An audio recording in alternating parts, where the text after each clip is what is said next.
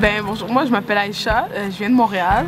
Euh, je, suis en train de réaliser un documentaire qui s'appelle Pew Pew, a film about Montreal Beat Scene. Mais à la base, ce projet-là n'était pas sérieux dans le sens que, ok, on va faire un film, on va aller faire ça. On a vraiment comme, ok, ben moi et Philippe Sawiki, on s'est assis dans un café l'année passée, puis on s'est fait comme, man, euh, ça nous tente de faire un film sur ce qui se passe en ce moment parce qu'on trouve que qu'est-ce qui se passe, c'est fou, tu sais. Pourquoi pas le documenter? C'est vraiment quelque chose qui est fait à la base pour le fun. Autant que les gens ils ont appelé ça Pew Pew, puis qu'ils font des beats chez eux dans leur sol, puis c'est naturel pour eux. Autant que pour nous, faire ce film-là, c'était naturel pour nous. Et la réception, on la prend vraiment comme Waouh, on est content, tu sais, je suis là, je, te parle avec toi, à tous les Français, salut.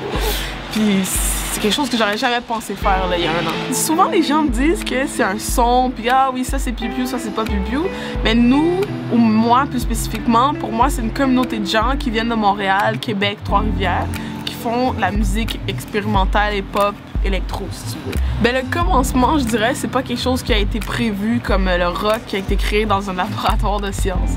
C'est plus quelque chose qui est venu euh, out of nowhere si on pourrait dire. Puis jusqu'à ce jour, toutes les gens qui sont dans cette scène-là, les beatmakers, ont su évoluer musicalement autant que humainement. Chacun a, cherché ses forces et ses faiblesses et a pu faire quelque chose de plus grand qu'il aurait pu penser que ça aurait pu faire. Il y a aussi des rappeurs qui sont autour de ce cercle-là, les gars la Claire, les gars de Little Bees, Loud Larry et Just, qui sont dans cette famille-là, qui sont dans ce cercle-là, mais qui, qui font pas piou piou, ça veut pas dire que quand ils rappent, ils disent piou piou tout le temps.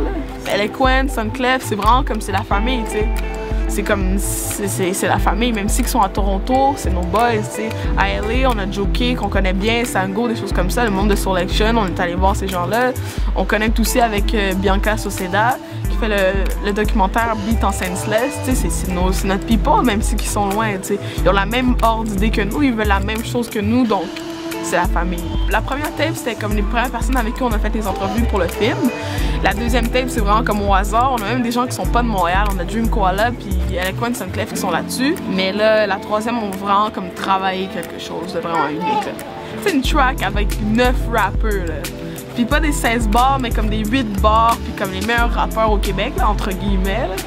C'est très, très vaste, là, mais c'est vraiment comme les meilleurs rappeurs de la scène, si on veut, puis c'est quelque chose qui déchire, là, que tu qu'on remarque pas juste le beatmaking, parce qu'on a vraiment vu, avec les deux, on a vraiment vu le beatmaking, donc la troisième, avoir juste une chanson avec du rap et du bon rap aussi, euh, ce serait vraiment cool. dans toute la communauté, il n'y a que deux personnes qui sont signées sur un label. Il y a les gars à la Claire qui sont avec Dare to Care et il y a Keitra Damus qui est avec le label euh, HWNW.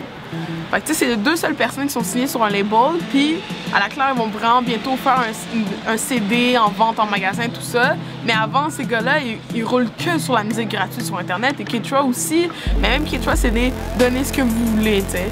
Puis en même temps, je me dis, avec les gens de notre génération, comment qu'on fonctionne, c'est tout est par partage tu vas partager quelque chose sur Facebook, sur Twitter, peu importe. Tu vas partager de la musique avec tes amis. Moi, j'ai un disque dur, puis je suis comme, OK, je, vois mes amis, puis je leur partage des trucs, puis il n'y a rien de comme, redonne-moi de l'argent après ou quoi que ce soit, tu sais. On est vraiment une génération qui aime échanger les choses.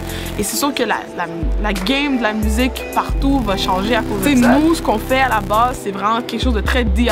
C'est très punk dans un sens, parce qu'on veut tout, on fait tout nous-mêmes avec les gens près de nous ça marche, puis c'est la communauté, puis c'est vraiment très familial, puis les gens se tiennent. C'est comme ça que le mouvement avance, puis tout ça.